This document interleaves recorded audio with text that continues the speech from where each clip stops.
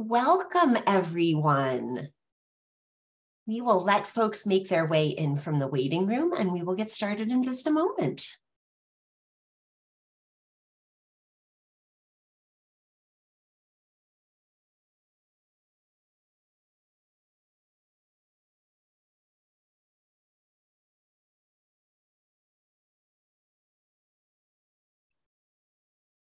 Welcome, welcome.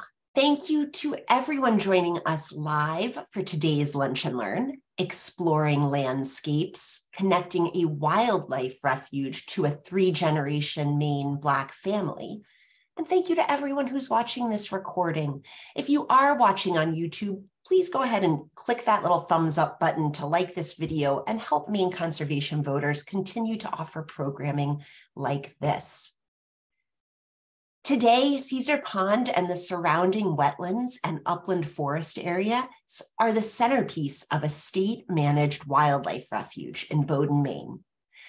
But from the late 1700s through the early 1900s, the area was home to a free Black family who lived and farmed there for three generations. The small rural town of Bowdoin is in the news and on our minds this week not for the environmental and social history that we'll explore together today, but for the shootings there and in Yarmouth. Our hearts go out to all communities affected by violence, and especially to the communities of Yarmouth and Bowdoin, which include this week's speaker. Eileen Sylvan Johnson teaches Geographic Information Systems, or GIS, at, in the Environmental Studies program at Bowdoin College. She's using GIS, which is a form of computerized mapping, to uncover the history of the Freeman family, and especially of the Freeman women. Reconstructing their lives is particularly challenging, but Professor Johnson's approach, using a geographical lens rather than a genealogical one, is unlocking their stories. My name is Kathleen Meil. I'm the Senior Director of Policy and Partnerships here at Maine Conservation Voters and Maine Conservation Alliance. Our organizations represent more than 13,000 members and supporters dedicated to protecting Maine's environment and our democracy. MCA does that through education, collaboration, and advocacy, and MCV by influencing public policy, holding politicians accountable, and winning elections. Since 2020, this weekly online Lunch and Learn series has helped us advance all of those goals, creating a shared space to explore Maine's environmental and social history, policy priorities, climate action movement, and more. A few notes before we dig in. We will hear from Professor Johnson first and then tackle your questions in the Q&A session at the end. You can send your questions to me through the chat whenever they occur to you, and I'll compile them, synthesize the ones with the similar themes, and make sure we can ask as many as possible following the presentation. We ask that you not message our speaker directly, as we wanted to be able to focus on the presentation, not the chat box. If you have any technical difficulties today, you can message Will Sedlak and he will help you out. This event is being recorded and the video will be posted on our website later this afternoon, where you can also find recordings of all of our previous programs. They're also all on YouTube, where we have a bunch of playlists that can help you focus in on particular topics.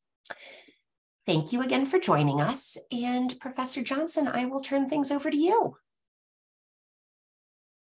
Thank you so much. And because we were talking about this before, I will already, I will say my dog will be barking in the background. so we uh, love special guests.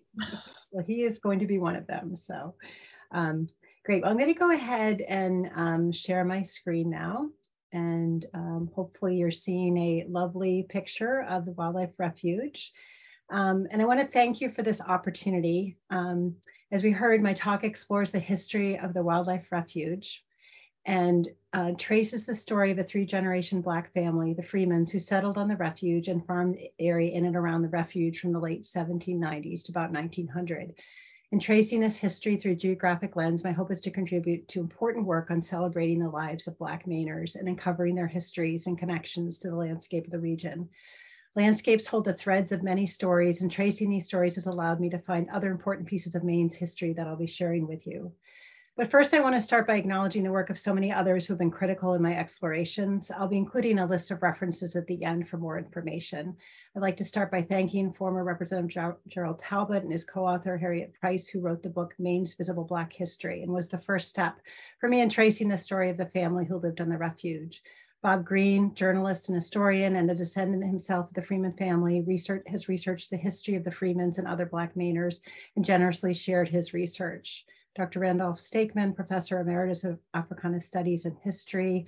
His paper on the Black population of the Maine, 1764 to 1900, was also very helpful in providing context. I'd like to thank Dr. Kate McMahon at the National Museum of African American History and Cultures, presented as part of this Lunch and Learn series. And I, I encourage you to watch her talks. Um, Angela Wheeler and her husband, Reuben Wheeler of the Bowdoin Historical Society have been gathering resources on the history of the town of Bowdoin. And Angela is, I would say, the local expert on the history of the Freemans in Bowdoin. I'll include a link to the website for the Historical Society and encourage you to connect with her to learn more about her work. Dr. Amy Keithan of the Pejepscot Historical Society helped me find key documents, and Dr. Sarah McMahon, Professor Emeritus of History at Bowdoin College, generously helped me interpret those documents. And most recently, I've enjoyed a collaboration with Jim St. Pierre, who presented on Caesar Freeman, the first family member I'll be discussing today for the Pejepscot Historical Society. And I encourage you to watch his presentation. Finally, I have to acknowledge my field assistant, my husband, who accompanied on many walks around the wildlife refuge as I mapped stone walls and looked at maps and deeds, helped me read and interpret documents, and also provided a number of the photos included in this presentation. So nestled in the inland town of Bowdoin, Maine, the Caesar Pond Wildlife Refuge is a 600 acre forested area named for the pond, Caesar Pond, a 60 acre shallow pond within the refuge. To understand the history of the refuge, I first need to acknowledge that the Caesar Pond Wildlife Refuge is located on the traditional land of the Wabanaki peoples. And to help provide context, I'm showing the location of the wildlife refuge in yellow on the Native Lands Project Atlas.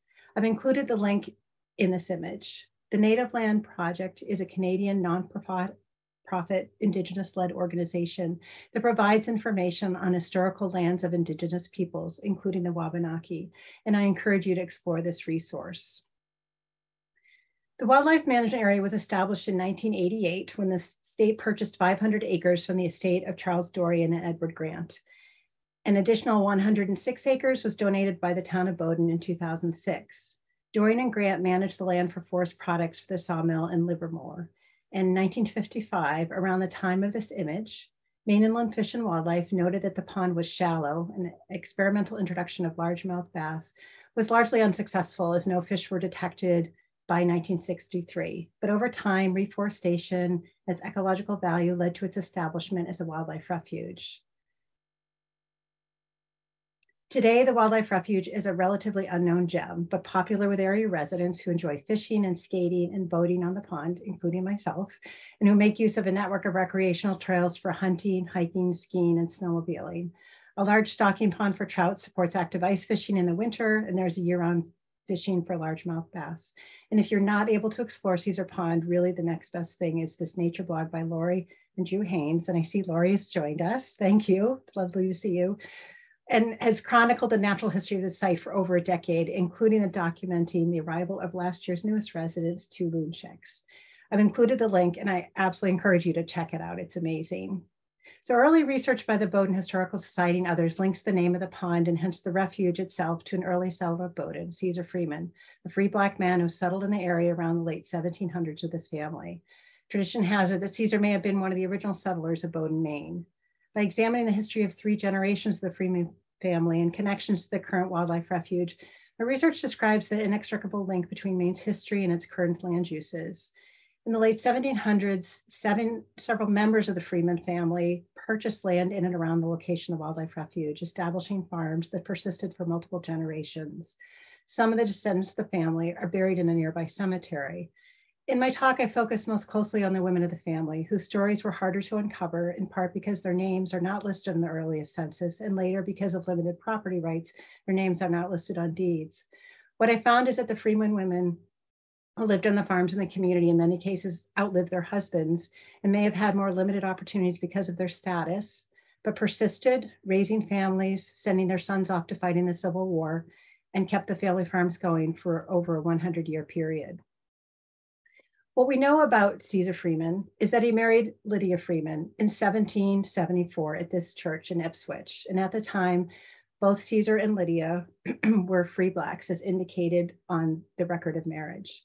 Lydia Freeman was originally from Ipswich, and she was the daughter of Peter and Jane Freeman, likely slaves themselves, but at some point during their lives were freed and owned property in Ipswich. They had five children Jane, Jenny, Peter, John, and Lydia. After their marriage, Caesar and Lydia moved to Lyndeborough, New Hampshire, where they owned 130 acres of land. And at the same time, a Samson Freeman purchased land there as well. And there's some evidence that Caesar and Samson may have been related. In 1784, Lydia and her siblings sold their parents' home in Ipswich. The deed lists the residence of each of the family members shown here. And at the time, Lydia's siblings were all living in Maine, in the vicinity of Bowdoin, which may have been what brought Caesar and Lydia to Maine. As of the 1790 census, there were a total of 538 free persons in Maine. And, and according to the census, we're talking primarily about free Blacks out of a total population of a little under 100,000. Of these 538 free persons, only 140 are listed as members of households headed by all other free persons. And again, that was a census reference like, typically for free Black Mainers. The 1790 census reports that Caesar Freeman headed a family of eight. A second Freeman household headed by Samson Freeman was a family of five. And Bowdoin at that time would have had the greatest number of all the free persons of any town in Lincoln County. Tax records a few years later show that three Freemans are listed as owning, owning property in Bowdoin, John Freeman, Peter Freeman, and Samson Freeman. So I first learned about this story from my daughter's third grade teachers. And I want to recognize these individuals. Um, around 2020, during the pandemic, I started researching the story behind the story, recognizing that many others had compiled a wealth of information on the Freeman family. But I was curious how Caesar Freeman had come to reside in Bowdoin, how the pond had come to be named for him, and it would be possible to determine where he and his family may have lived.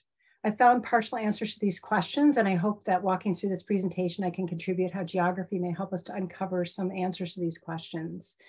So reconstructing the history of Caesar and Lydia Freeman's farm, where it was located, and their descendants' farms, required the integration of historical documents, deeds and maps, collections in the data collection in the field, current property information, and modern mapping technology called remote sensing. I'm gonna go through this next kind of geeky part pretty quickly, but I'm happy to answer more questions on it um, in the Q&A.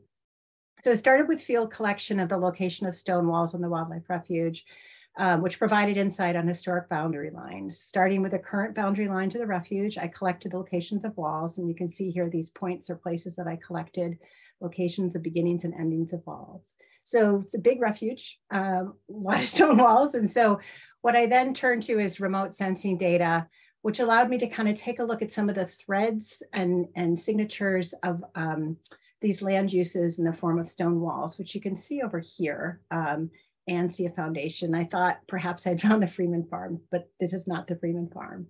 Um, stone walls are, are hard to pick up. Um, sometimes they're very well defined, sometimes not so much, but the combination of going out and walking in the wildlife refuge and using the sorts of technologies I teach with, I was able to trace the lines of these stone walls and start to see where the locations of the historic farms might have been. So the next part of the story was to turn to the person who sold land originally to Caesar and John Freeman, Willis Hall. Willis Hall sold land to John and Caesar Freeman. We know is in 1794. He sold um, land in lots of 90 acres, and there's a reference to lots two and three for a total of 100 acres that they owned and that these were a subset of some other land that Willis Hall had owned, and that these lots ran from east west. The descriptions helped me understand a little bit more about where the Freeman farm might have been. So I decided to look a little bit more into the story of Willis Hall to see if that would help uncover a little bit about what had brought them to this particular location. And what I learned was that Willis Hall was born in 1733 in Medford, Mass. Served as a city clerk for the city of Medford, which raised the question, how did Willis Hall come to own land in Bowdoin, Maine? and understand part of that story, it's important to know more about Hall's connections to certain individuals, including Isaac Royall, James Bowdoin, for whom the town and Bowdoin College is named, and other uh, wealthy New Englanders referred to as the Kennebec proprietors. Isaac Royall, a slave owner and loyalist, resided in Medford, Mass, where his home was the site of the largest number of, I've heard, um, and I need to document this, the largest number of slaves in one household north of the Mason-Dixon line. His home is now a museum um, sort of uh, reflecting the important history that we need to reflect on um, and what this represents. But as a loyalist at that time, he fled um, at the start of the revolution, leaving his estate in the care of his friend, Willis Hall, who was appointed executor of his estate. And in his will, Isaac Royall included a codicil that he left his daughter, uh, Mary Royall Erving, and I quote, my Negro woman Belinda, in case she does not choose her freedom. If she does choose her freedom to have it, provided that she gets security that she shall not be a charge to the town of Medford. So in other words, at the time of his passing, Belinda had the choice to choose her freedom. And in 1783, Belinda chose freedom and petitioned the Massachusetts state legislature for a pension from her former enslaver, Isaac Royall, in the first documented case of reparations. The Massachusetts legislature responded to the petition by awarding her 15 pounds and 12 ounces from the Royalls estate to be paid on an annual basis. The payment stopped after the first year, resulting in a second petition to the legislature in 1787. This well-known document referred to as Belinda's petition. Um, the legislature responded again that the payment needed to be made, and Belinda was forced one more time around 1790 to petition again with the legislature ordering that the payment continue, but no further information is known about Belinda after 1790. As Medford Town Clerk, executor of Royall's estate, Willis Hall an important footnote in history. He and his son Nath Hall signed as witnesses on Belinda's 1787 petition. There's some evidence that he may have been paid for his services as executor, and perhaps these provided funded funds for him to purchase land in Maine which brings us to how he came to purchase this land in Maine that was then sold to the Freemans. Um, in the mid 1700s, a significant amount of land in the vicinity of Bowdoin was owned by two groups of wealthy New Englanders, the Pejepscot proprietors and the Kennebec proprietors. Willis Hall was not one of the original proprietors, but he knew the proprietors, including James Bowdoin, and purchased land from at least one of the original Plymouth Company proprietors, Edward Goodwin.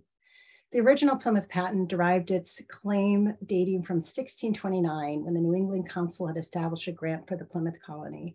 And this patent encompassed nearly 3 million acres and broadly described as extending on either 15 miles on either side of the Kennebec River. The original holders of the patent engaged in fur training with the Wabanaki during the 1640s but later the patent was subsequently divided and sold and to a certain extent forgotten until discovery of the document, 1629 document by Samuel Goodwin, who located the original Plymouth County patent in a house in Rhode Island in 1744. Location of the document and establishment of the claim of the Plymouth patent referenced as the Kennebec proprietors played a decisive role in the difficult and hard story of the connections between the proprietors, the settlers, and the Wabanaki. And this history is told very eloquently by Ian Saxine in his 2019 book, Properties of Empire, Indians, Colonists, and Land Speculators on the New England Frontier. And I encourage you to um, take a look at his book. It, it, tells a really important piece of the story um, of Maine. Edward Goodwin, brother of Samuel Goodwin, received a land grant as part of this later land patent. The Kennebec proprietor's claim is reflected in this map, which divides 15 miles on either side of the Kennebec River into numbered lots. What you can see um, are each of these lots have a number and names associated with them, and they extend about 15 miles. Lot six includes the description that is owned by Edward Goodwin, brother of Samuel Goodwin, um, and where the wildlife refuge rests within this particular lot. In 1777, Edward Goodwin sold his share to Willis Hall. And you can see in this deed here a reference to um, Edward Goodwin's receiving the original patent and then selling this land to Willis Hall. So bringing us back to the to this idea that Willis Hall then turned and sold this land in 1794 to the Freemans, um, and that they were 90 acres in size. Um, what we do know is that um, the one of these original lots, this lot right here, is still we're able to trace it um, to current properties. This is lot number five, and tracing eastward, four, three, two, and one what we see is that with their wildlife refuge, these lots two and three are where the Freeman, John Freeman and Caesar Freeman owned land, where John Freeman um, later sold the land to Caesar Freeman. Um, Caesar Freeman, then with his wife Lydia Freeman, purchased an additional lot, lot one from Willis Hall. Lydia and Caesar would then sell the western portion of their property and then the last connection we see between Hall and Freeman is in 1819, Hall discharged a mortgage um, for lot one, this lot here, um, to Caesar Freeman. And the deed references where Caesar Freeman now lives. So very likely he and Lydia lived in this portion of the wildlife refuge adjacent to the pond. The last record we have of Caesar is land transactions in 1823. He does not appear on the um, 1830 census. And so we, likely he passed away during that time. Um, the same um, 1830 census lists a Henry Freeman with an older woman living in his household, so potentially Lydia Freeman. Um, and tracing the story of Lydia Freeman at this time is complicated by the fact that women were not, were not listed on the census and um, based on their status, property rights for women at that time. Colonial laws established a system of property ownership for women that shifted from common laws in England to the present day. And these existence of these laws and the ways that individual rights differentiated women from men shaped our landscapes in ways that we can only see faintly traced on the landscapes themselves. Um, what's unclear is how these rights may have been impacted further by race. Um, at the passing of her husband, Caesar, Lydia Freeman retained dower rights, also referred to as the widow's third, by law, widows inherited one third of their husband's property. Dower rights were intended to provide a way of supporting a widow after her husband's passing. However, how widow could use her dower was established by her husband's heirs and shaped by existing probate court. At the time, widows could not sell or otherwise convey property. Um, and according to colonial law, 18th century husbands had control over women's property that she acquired during and before marriage. So in a deed transferring property from a Benjamin Hasey of Topsham to the town of Bowdoin, there is a reference. This is where we find a little bit more about Lydia Dower, Lydia Freeman, sorry, and her dower and the, um, as referencing dower in the lands of the late Caesar Freeman. The deed established that um, another deed in 1836 also references um, Lydia Freeman, allowing her to live on the lands as long as she is alive. Um, and this is the deed for this um, lots one and two. It's likely that she passed away shortly thereafter because Henry Freeman then sold um, one of these properties in 1837. So that ended um, the connection at that time of the Freeman family to this property that we've been looking at. However, um, right around that time, the second generation of the Freeman family was establishing new farms just to the northeast of the Lydia and Caesar Freeman farm. Jared and Jeremiah Freeman owned property. Um, after Lydia and Caesar had sold their land, Jeremiah sold his property, and Jared Freeman sold land to Adam Freeman for $5. And it's likely they were related given how low the property, how low that amount was. Um, and others who have done extensive research on the gene genealogy of the Freemans have indicated that Adam Freeman may have been the son of Caesar and Lydia Freeman. So Adam Freeman um, was born in 1785 and married Nancy Malcolm um, in around 1820. She was white. Um, they had seven children, all of whom were likely born on the farm. The daughters and sons married and settled in neighboring communities, with the exception of James Freeman, who stayed and lived in Bowdoin. Jeremiah and, and Jared are, are, are, connected in some way. I'm not sure how, um, but I've included them as members of the Freeman family who likely lived on the wildlife refuge. So going back to the Adam Freeman farm, using a combination of looking at deeds and historic maps such as this one, um, and guided by the stone walls, I was able to identify that this AF refers to Adam Freeman and that this is the foundation of the Adam and Nancy Freeman farm that is currently on the wildlife refuge.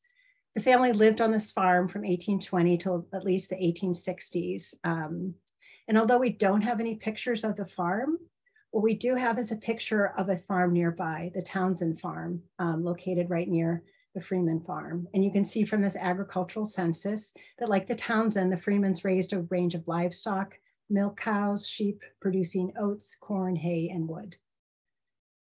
Um, a few years later, two of the Freeman sons would fight in the Civil War.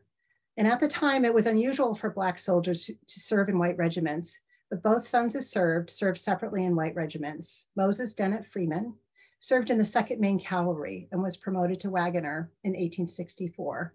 There were only two Black soldiers in the 2nd Maine Cavalry, Moses Dennett and Orrin Secco.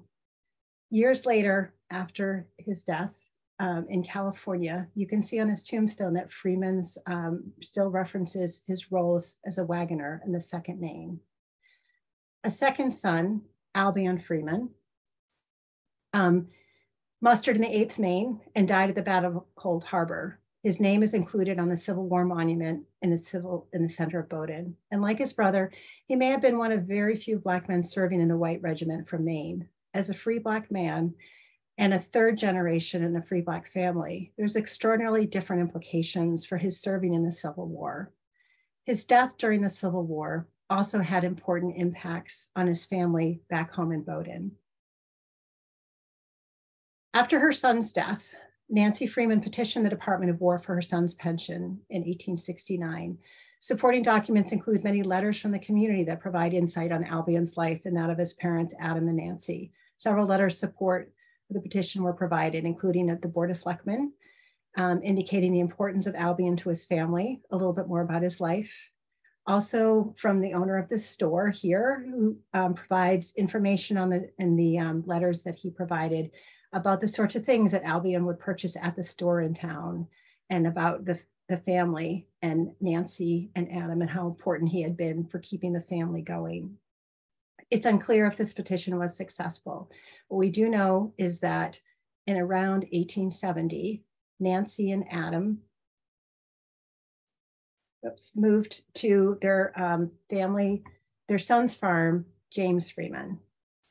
James Freeman was the next generation. Um, he held this land in the wildlife refuge, but he likely, um, along with his wife, Ellen Freeman, they married in 1865, lived somewhere in this part of Bowdoin. I have not mapped them because it's outside the refuge, but I, if you look at the um, deed for the refuge itself, it does reference the James Freeman farm. So the youngest son, James Freeman, and his wife, Ellen, farmed successfully for the next 10 years. Adam and Nancy would move at some point to be with one of their children in Brunswick, where they would pass and be buried in the Varney Cemetery in Brunswick, Maine. So, about 10 years later from this point, um, James Freeman died very young from heart disease at the age of 40. And on the death of her husband, Ellen Freeman continued to own the farm for a few more years um, and to care for her three children, Robert, Sarah, and Vesta. Although 30 years earlier, Maine had passed one of the most liberal laws protecting women's property rights, this did not apply if a husband died without a will. Existing law present, prevented women from being the agents of their husband's wills in these cases. In the cases where a man died without a will, Maine law established the rights of his widow to receive an allowance and that an appointed administrator was responsible for arranging for the payment of that allowance. And these laws had a critical impact upon the Freeman family upon passing of James Freeman. As James Freeman had died without a will, Sagadahoc County Probate Court appointed an administrator of James Freeman's estate. Six years after his death, the probate file provides, again, an insight into their, their lives um, by inventorying real estate and personal property. What you can over, see over here is actually a reference to the Adam Freeman farm that was still owned by the family and provides for an allowance for his widow. Um, from this documents, it looks that um, James Freeman, along with being a farmer, might have been a carpenter. The record further authorized the court appointed administrator to sell the Freeman family to Ellen Freeman. So Ellen Freeman then purchased her family from the um, administrator, essentially from the estate. Further, at the time, Maine law required that women petition the courts for guardianship of their own children at the passing of their husband. So at that time, Ellen Freeman petitioned for guardianship of her children, Robert, Abigail, and Vesta. As you can see here, the, the guardianship petition for Vesta. Ellen continued to own her property in Bowdoin on the James and Ellen family farm, located to the northeast of the pond. The final land, tra land transfer related um, was a mortgage in 1900 to a Fannie Delaware for the price of $25. But a little bit earlier than that, um, Ellen Freeman had sold the Adam Freeman farm, the one that's located on the wildlife refuge. She continued to be listed as living in Bowdoin, but it's likely that around that time, late 1800s by 1900, um, she had moved to Lewiston to start a position as a cook. Um, Ellen's children moved to the area communities Lewiston and Brunswick. And for the last 38 years of her life, Ellen Freeman worked as a cook in the home of this individual, Wallace Humphrey White. Um, Wallace's father-in-law is also listed as living with a family, William Pierce Frye. And um, William Pierce Frye, former senator for the state of Maine, served very briefly in an unofficial capacity as the Vice President of the United States just prior to and after the assassination of President McKinley.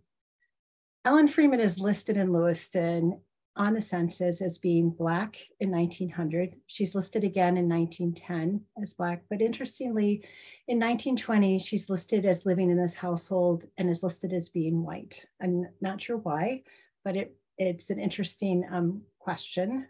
Um, shortly before her death, Ellen Freeman moved to be with her daughter in Brunswick. And upon her death, she was buried in the cemetery not far from the Freeman farm along with her son, who had died before her, and her husband. The last member of the family to have lived on the Freeman farm, Vesta Freeman, is buried in a nearby cemetery in Bowdoin, along with her brother, father, and mother. Oral tradition holds that Caesar Freeman and his wife Lydia are also buried, but without a headstone to mark their graves. Although the Freeman family genealogy is extensive, and as I mentioned, so many others have done inc incredible work in terms of documenting their lives, these are the individuals that, as far as I know, who lived at one point or another in the town of Bowdoin, and more specifically, those in blue on the wildlife refuge itself. So it brings us back to Caesar Pond.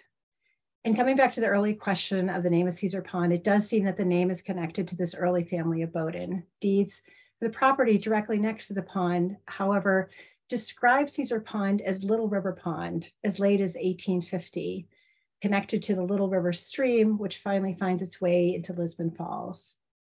But around 1860, deeds start referencing the pond as Caesar Pond. This is 30 years after Caesar Freeman would have passed um, and lived on the farm on the southern shores of the pond. So I wonder if the name reflects almost a deeper, longer term connection to this family that lived and farmed in the area in the vicinity of the pond.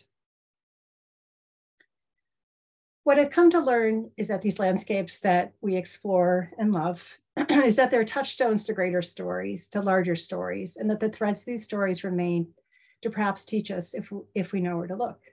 For example, these walls stone walls, now that I look at them, I think about the fact that they represent the location of the Kennebec proprietors and what that means. That this site of a three generation Black family, Caesar Pond, also reflects a larger story of women's rights and how existing rights influenced the ways in which women were able to keep property. From Lydia Freeman, whose parents were slaves, who outlived her husband, but at his passing was not able to inherit his property, to Nancy Freeman, who petitioned for the right to receive her son Albion's pension in order to keep her family farm, and finally, Ellen Freeman, who upon her husband's death needed to not only petition for the right to keep the farm, but also the right to remain as guardian for her three children. By weaving the nature and status of women who worked the land, and in particular of Black women, the history of women and their contributions began to come to light. So how should we manage these places to reflect the history such as the one I shared? It's actually something I look forward to exploring and thinking more about. I also think of my children um, and the fact that they learned about this in their elementary school. So I hope we continue to tell these stories to our children in our classrooms. Um, my hope is to start conversations around this. I'm happy to connect with future collaborators if this is of interest. Um, I want to thank the Maine conservation voters, in particular Kathleen, Will, and Maggie for the opportunity to share this work. Um, I also want to make sure that I share once again the acknowledgements to the incredible people who have done a lot of great work in this area. A very short list of resources. I'm happy to provide many more for those of you who are curious. And I'm happy to um, answer any questions. Thank you so much. Oh my goodness. It is what a fascinating project this has been and what a, an incredibly interesting history you're you're uncovering. Uh, just a reminder to everyone that you will get a follow-up email later this afternoon with a bunch of those resources and and links to learn more. So if like me you are thinking, wow, I didn't know GIS could do all of this. Uh, there's a link to, they'll, you'll get this afternoon a link to the Osher Map Library at USM, which has just a whole host of exhibits and resources that you can explore in person or online. Uh, there's also information to help you connect with your local historical society and to go back and, and check out some of the other racial justice and equity themed programs that we have featured in this Lunch and Learn series. So the Place Justice Initiative, the Atlantic Black Box Project, um, we are really enjoying the learning that we're doing together on this. And so helping to, to package that up and help you uh, go back and put it all in context. So keep an eye out for that this afternoon. And as always, feel free to forward that email to anyone and everyone and spread the word. Uh, we already have a good list of questions, and I'll encourage everyone to, to keep those coming through the chat. But the first thing that, that I want to know is Is this what GIS is for? Are you forging new ground here? Uh, tell us, tell us a little bit more about this because I really didn't know you could do such interesting things with GIS. Um, Oh, thank you. Well, I have to say that I I don't know if I'm forging new grounds. I uh, all of my work sort of rests on the shoulders of others, but um, I do teach this in classes. Um, and I think one of the things, uh, the power of this is that we can bring things together that we don't realize um, can tell us something about location and space. Whether it's like reading a deed and turning it into something on a map, or as I said, using this remote sensing to like, oh my gosh, there's a lot of stone walls. I don't know have time to do all of them, and I can I can use some of that information, but to bring it together and start to really uncover um, the stories that do have such a geographic component, and and to have that complement, as I said, the incredible work that's been done earlier, I think is, you know, sort of one of the things that it can do.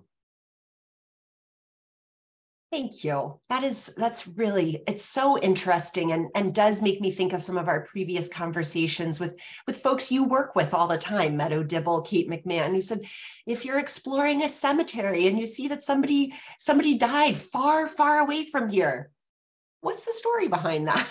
and just all of those things of looking at the the landscape and the the clues that are all around us and how do we put them together to to figure out the stories and the, the history that we haven't always been been told. But I did love that piece that you said, you know, that your your kids have learned some of these stories. And I wonder if you could say a little bit more about what you see as an educator that is is different today perhaps with these tools perhaps with other tools uh, from from the way that perhaps you learned about them that that i learned about them back in our day um, well, I like to say, like, for my students, that um, you know, it's a very powerful way to kind of tell stories in a in a different way. I think people like to interact with maps. You can bring in, like, I, I did historic maps um, that tell some really fascinating stories. Um, and it's a puzzle. It's like a it's a cool puzzle to think about. Like, why is this person? Why do they live here? And and what does this tell us? And I mean, I remember like reading the Dower, like, what's the Dower? Like, oh, a Dower, like trying to read things and understand them in order to kind of put them on a map. Um, but I think that um, yeah, as I said, I appreciate that the the first time I heard about the story was the Bowdoin Historical Society would do a program with the third graders um, to help them understand the history of Bowdoin, and this is just a story that I only learned because of that originally. Um, so thank you, and thank you to those people who continue to do that great work. And I love that that that it was a third grade class that kind of set set the college professor on yeah. on the learning path. It was many years ago, though. I have to say they're not okay. um, so that's a little bit about how you got got into this work. What else are you working on right now? Um, well, I do a lot of work on climate adaptation and uh, working with communities to help them sort of imagine their communities. Um, I do a lot of community-based work with my students um, where they can, you know, provide support for, for communities who need that. Um, so basically for a lot of community members who say like, there's a need to understand this is a map, I love to say like, okay, well, how can we help you do that? Um, but yeah, I've been focusing a lot on looking at community resilience and, and uh, adaptation. And I, I think part of what intrigued me about the story of this woman is like talk about being really resilient to all these things that they experienced in their lives and how important it is just to really understand and learn. And, and for me to be inspired by like i can't i can't imagine in the lens that i have but i can truly be inspired by the little that i was able to learn about them um, over this time period. And i don't i walk out in the wildlife refuge and i'm like I, it's just not the same place for me anymore. There's just so many incredible stories that i think about as i'm out there. That is that is really interesting and makes me wonder about the the role of you know is there a place for for informational signs to like when people explore it, it, does that exist now is there signage in the the refuge or is there a, a movement towards that uh, it's a great question. It's um, there is a, a sign there, um, and I I know one thing I'd have offered to do is just to write something up, you know, um, for the wildlife management plan. If you know if this is of interest, I'm I'm happy to share this. Um, you know, maybe there's some future opportunities, but I think even just sort of letting people know that are just out there exploring that you know this is kind of a it's a cool place. It's a cool place for many many reasons, um, but there's this really interesting history there. And what a different sort of lens to think about this is a this is an interesting place not just ecologically but historically and geographically and as a complex system like like all of our like all of our places right? There are a lot of things going on. Um, one of our, our participants today is using GIS in a folklore class and wonders if you have looked for any oral stories or, or legends about family in the area are there other threads we can pull into this this wonderful tapestry uh, that's a great question i'm very excited i'd love to connect with whoever that is but um, yeah so i um, I think there's a lot of opportunities to integrate, um, you know, starting with a map, but also be able to bring in an oral history or, um, you know, images. And I think, you know, really, I want to say I feel like this is the story of the Freemans themselves, and as much as I can contribute to ways that it can help collection of those stories for their own family, that that's an exciting thing to me. But I love I love that idea, and I, I think there's a lot of potential there for sure. Such a rich history that that we're everybody can sort of contribute a piece to. So let's go go deeper on the the refuge itself and the Freeman family. Um, do you have a sense of the density of the residences around the pond? You know, I think you said cellar holes. Is that the, the primary indicator? Yeah, that's a great question. And um, certainly trying to, there, there's definitely some other um, family farms there. I came across them mostly in reading through the deeds. The Bremigians is actually that one I very beginning when I was zooming in and saying like, oh, maybe this is the Freeman family. I think it's a Bremigian family. Um, and I'm sure there's a whole history there. And, and I will say like, there's a lot of great information through the Bowdoin Historical Society. Um, Angela Wheeler's pulled together an amazing Facebook page. Really, you know, want people to check that out with the out images. And I've, you know, used a few of them in this um, presentation so we know some of the stories and so the, the challenge and the interesting like this really cool challenge is how can we locate them? I don't i couldn't tell you the density of it because i know trying to find any one foundation takes a while to figure out like where it actually it is because there's our foundation you know there's there's um homes that probably do not have foundations or i couldn't find them. Maybe someone else might be able to find them. Um, but yeah i um i think it's a great question all many so many great questions to keep working on this it, it's never done right this work is never done um getting into the, the Freeman family for a moment, um, was it Nancy Malcolm and Adam Freeman? Is that the couple that you talked about where the, the husband was black and the wife was white? Mm-hmm. Give us a sense of what that meant for them in the, the early 1800s. Was there a stigma or? That's a great question. And actually, um, you know, I do want to acknowledge um, Dr. Kate McMahon, who, when I first had some conversations with her, and I think, I believe this right, and I don't want to miss quote her, but I, I feel like at some point when we were talking about this, um, Maine passed a law, I believe in the 1821, which essentially legalized interracial marriage. So up until then, and it was right around the time I believe, I don't, I don't have an actual date of when they were married, but it would have been around that time. Um, and I and I believe, and again, I would have Kate McMahon sort of explain this better, is that you know in rural communities it may not have mattered in the same way, like it was you were in the community um, but I don't know for sure. But I, I do know that I believe it was around 1821 where there was a law that was passed where it actually was legal to marry. And there were several family members, um, one of the daughters of James um, and um, Ellen Freeman married actually the boy next door who was white, um, and they lived in Topsham together. It's just fascinating to, you know, that the reality doesn't always match up with what our expectations might might have been for what what their life was like. So thank you. That's really interesting. Um and did you say are there freeman descendants still in the bowdoin area now I believe so. And I know I mentioned uh, um, Jim St. Pierre gave a really nice talk about Caesar Freeman for the Pejepscot Historical Society recently. It's a great talk, and I really encourage people to, to check that out. And I believe that there's a number of individuals, and there may be some here um, who are descendants who live in the area.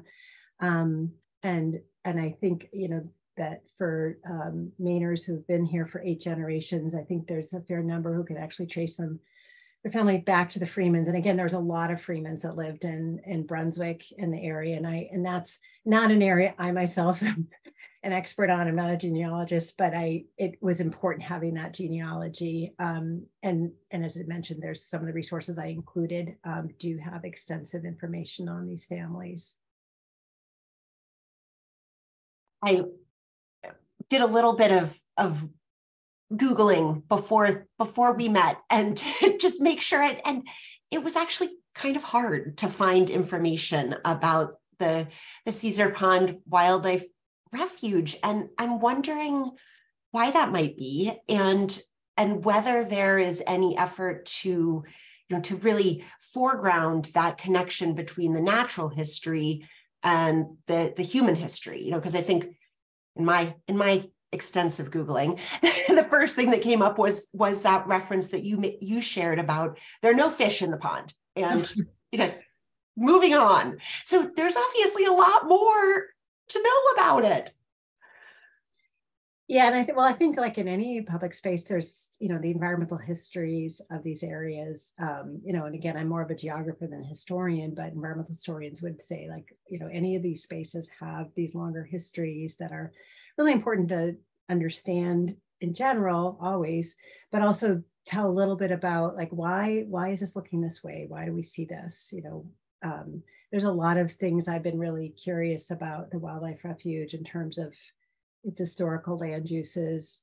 You know, was it a good place to farm? Was that part of the challenges and why the family didn't persist? I, I would have to um, turn to colleagues who have a lot more extensive experience as historians to really answer that. But um, but I think that there's just a lot of opportunities for uncovering some of these important stories. This is just one. I'm sure there's a, many, many more. out So hopefully, I've inspired people to kind of go out and look, you know, in their own communities for some of these stories. And the, and work is happening, and really, is the resources in, that you'll send out show. Um, just want to, you know, call out those individuals that really are doing great work to uncover these stories. You are inspiring folks. I am alarming folks by saying that there were no fish in the pond. Is that still true? Fact check me, please. I I um I know that there are fish and and I do not fish myself, um, sadly. But when I I do ski and skate, and I I always ask people who are out of the pond what they're catching, and and there's a lot of people out there who really enjoy ice fishing, um, and I I think yeah I, I, would say so. But again, there may be somebody else on here who could really speak more to the fisheries part. So that it. was a moment in time and needs to be a needs to be updated.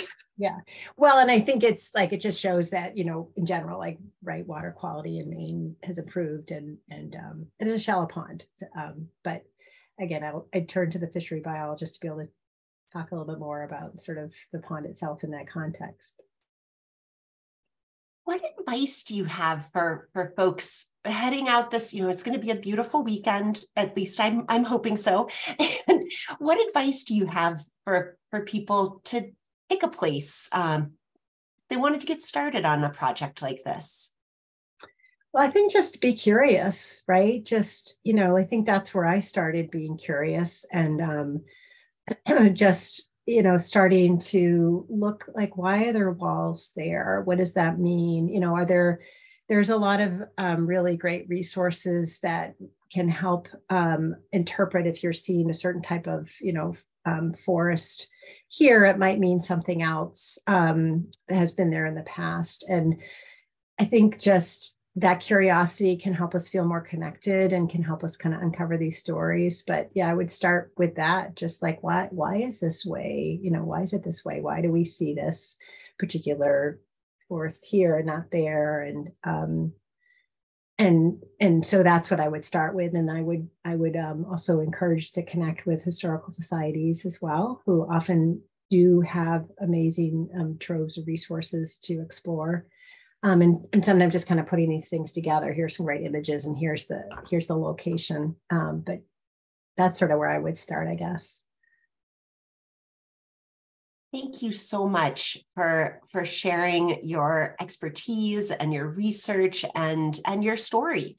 Um, we are we are all all the richer for it. So I'm really grateful um, that you joined us this week and that we know a little bit more about the uh, the wildlife refuge than we we did and and how much more there is to learn. So um, everybody should keep an eye out for that follow up email that you'll get later this afternoon. Um, have please, please, please keep us posted if you if you take us up on any of those links and resources and go out and find the stories uh, in your community. We would love to hear about what you uncover and and let us know if uh, if you've maybe the next lunch and learn is is yours. So um, we will be back in this space next week to learn about the Maine Climate Corps which adds human resources to move the climate action strategies forward and to help meet the goals of Maine's climate action plan. So we'll have the Climate Corps coordinator, Kristen Brewer, with us, and she'll tell us a little bit about Maine's Climate Corps, the, the triple bottom line of service, which is addressing the climate crisis, providing training and experience to those who serve, and increasing community resilience through volunteerism. Um, should be a really interesting program. Hope to see you all there and can't wait to hear about your stories of exploring the history of our natural areas. Thank you, Professor Johnson. Thanks to all of you, and have a fabulous weekend.